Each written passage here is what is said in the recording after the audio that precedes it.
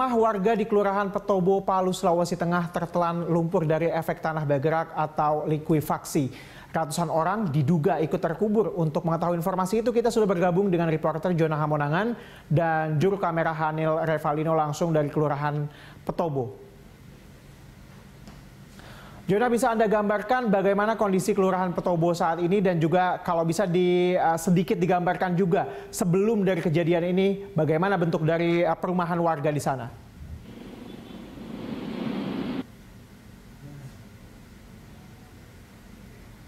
Hari ini bertolak ke Palu untuk melihat bagaimana kondisi terakhir pasca gempa. Jokowi ke daerah Petobo, di mana Petobo sendiri merupakan daerah yang paling terdampak khususnya dari gempa yang ada di Palu kita tahu, kita tahu memang dari gempa yang berkekuatan 7,4 skala Richter ini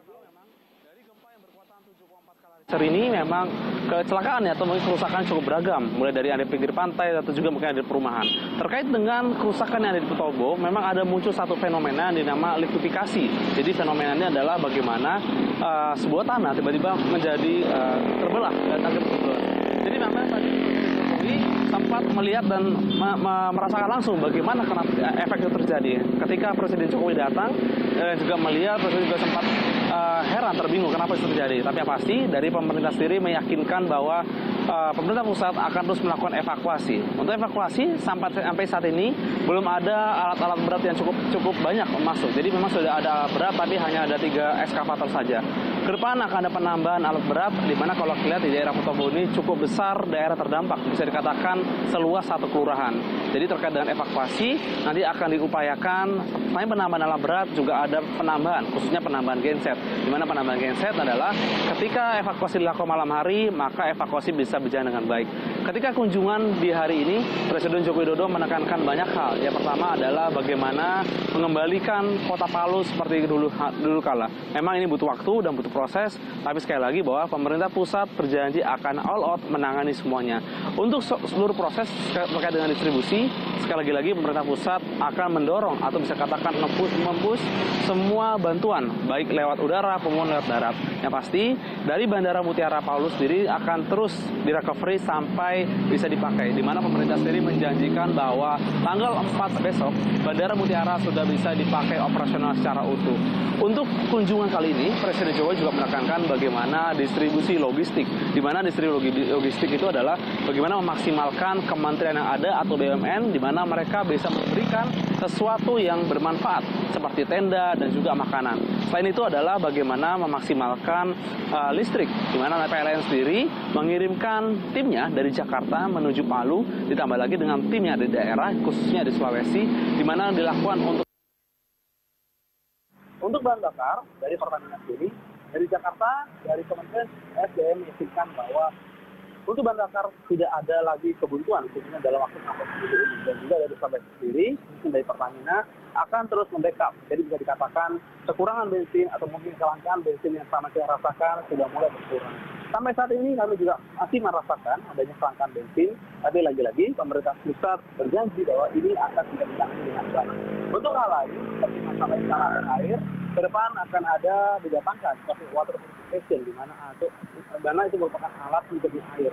Dan juga beberapa alat-alat yang didatangkan dari Jakarta yang dilakukan khususnya untuk merubah sistem seperti air kota Palu. Terkait dengan trauma, masyarakat sampai saat ini masih merasakan trauma, di mana gempa susulan masih sangat terasa. Seperti tadi pagi kami masih merasakan ada gempa, di mana masyarakat masih takut untuk masuk ke dalam rumah Jadi masih banyak masyarakat yang tidur khususnya di lapangan-lapangan terbuka atau lapangan besar, di mana mereka hanya berada uh, mengandalkan seperti tenda dan juga uh, misalkan seperti tikar dan. Baik, lalu hingga saat ini apakah ada data perkiraan berapa sebenarnya jumlah warga di sana, kemudian juga jumlah perumahan yang terimbas dari fenomena likuifaksi di sana, Jona, tepatnya? Ya, Desar, terkait dengan yang terkait dengan fenomena likuifaksi, bisa dikatakan seluas dari satu kelurahan di KTB ini. Dari pandangan kami, dari ketika kami sempat atas, cukup luar biasa, cukup luas yang ada terdampak kita ada lebih dari 500 kepala keluarga yang terdapat bisa dikatakan sebagai mungkin ada sekitar 500 rumah yang harus terkena dampak ini. Jadi kami tadi sampai ke atas, sudah dikatakan bahwa wujud rumah tidak kelihatan sama sekali. Jadi pun kalau kelihatan mungkin hanya kelihatan apa saja.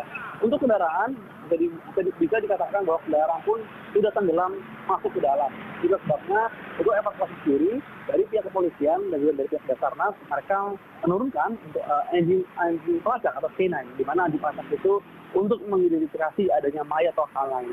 Terkait dengan daerah-daerah lain yang terevakuasi, ini juga masih menunggu proses di mana alat-alat berat saat ini juga masih dalam proses menunggu untuk datang. Tapi yang pasti perbaikan jalan menuju arah kota Palu terus dilakukan agar alat-alat berat bisa didatangkan, baik dari datang dari Manado ataupun dari Makassar. Baik, baik Jonah, terima kasih atas informasi yang telah Anda sampaikan. Tetap berhati-hati dan juga jaga keselamatan. Salam untuk uh, rekan semua di sana. Dan ada beberapa hal yang tadi diinformasikan oleh rekan Jonah Hamonangan dari lapangan, tepatnya dari uh, wilayah Petobo, Sulawesi Tengah, tepatnya di kota Palu. Ini ada tadi ketika Jokowi datang ke sana dan juga langsung melihat di lapangan ada beberapa aspek yang ditekankan. Yang pertama adalah untuk bagaimana mendorong roda perekonomian dan juga kehidupan di Palu dapat uh, semula, seperti semula begitu. Kemudian juga uh, bantuan juga sudah ada yang masuk, namun jumlahnya masih dapat dikatakan juga masih terbatas.